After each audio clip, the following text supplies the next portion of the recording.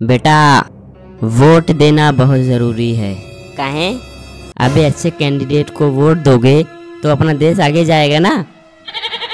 फिर क्या होगा? फिर क्या? देश आगे जाएगा अपना। अच्छे कॉलेजेस बनेंगे हॉस्पिटल बनेंगे। उससे क्या होगा? तेरा दिमाग घुटने में है क्या? अपना देश आगे जाएगा तो फ़ायदा किसका होगा?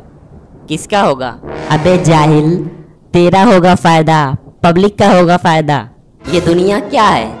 सब कुछ मोह माया है। खाना, पीना, जागना, उठना, बैठना, सोकर उठना, फिर जागना, फिर से सोना, घूमना, टहलना, स्कूल जाना, पढ़ाई करना, काम करना, ये सब क्या है? सब कुछ मोह माया है।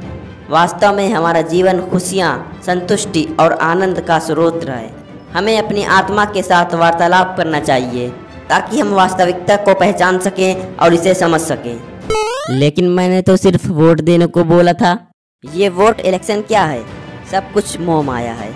इस ब्रह्मांड संसार का मालिक तो सिर्फ़ एक है। हाँ वो तो ठीक है, लेकिन इस बार वोट किसको दे रहे हो? पहले ये बताओ। ये वोट क्या है? बताओ। सब कुछ मोह माया है। खाना, पीना, उठना, जागना, बैठना, सोना। चुप बानर सारे। दिमाग खराब कर दिए। एक घंटे से बकवास सुन रहे हैं तुम्हारी। वैसे तुम लोग किसको वोट दे रहे हो? किसी को नहीं देंगे। कहें? जाएँगे एक घंटा तो लगेगा कम से कम वोट देने में। उससे सही इंस्टाग्राम पर रील नहीं चला लेंगे हम। तब बेटा ज़िंदगी भर रील चलाओगे तुम इंस्टाग्राम पर। कुछ उखाड़ नहीं पाओगे ज़िंदगी में तुम अपने। लिख के दे रहा हूँ मैं ये। तुम्हारे जैसे लोगों की वजह से हम लोग पीछे हैं आज। इस बुढ़े को किसने बुला लिया यहाँ पर? दिमाग खराब कर दिया फालतू में।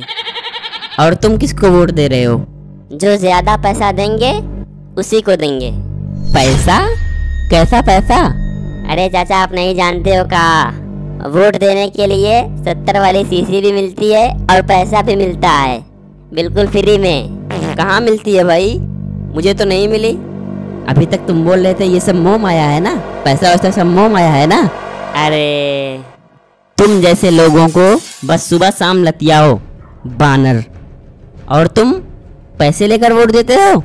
पैसे लेकर अगर वोट दोगे ना बेटा इलेक्शन से पहले वो तुम्हारे चरणों में होंगे और इलेक्शन के बाद तुम उनके चरणों में होगे। पूरा दिमाग खराब कर दिया। वैसे हम सोच रहे हैं हम भी इलेक्शन में खड़े हो जाएँ। सुने हैं बहुत पैसा मिलता है। शकल देखिए अपनी। कटप्पा जैसी शकल है इलेक्शन में खड़े होंगे। इलेक्शन में अभी खड़े नहीं हुए हेटर पहले से आ गए। भाई फुल सपोर्ट है। आप खड़े होइए। ये बुढ़ा पागल है इसकी बात मत सुनिए। क्या कहा? अरे सही तो कहा है। भाई फुल सपोर्ट है। आप खड़े होइए। अच्छा ये बताओ इलेक्शन में खड़े होकर कौन सा काम करोगे? सबसे पहले गरीबी मिटाएँगे। वो कैसे? हम एक कानून बनाएँगे जिसमें जितने भी गरीब होंगे उनके बच्चे पैदा करने पर रोक लगा देंगे। फिर आने वाले 10 से 15 सालों में सारे गरीब मर जाएँगे। सिर्फ़ अमीर लोग बचेंगे इस दुनिया में। वैसे भाई तुम भी तो गरीब हो।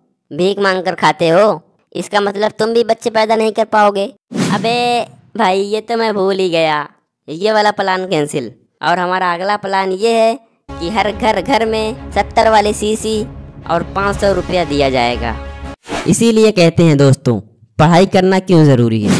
अपना वोट उसे दें जो आपके लिए और आपके बच्चों के लिए और आपके परिवार के लिए कुछ करे।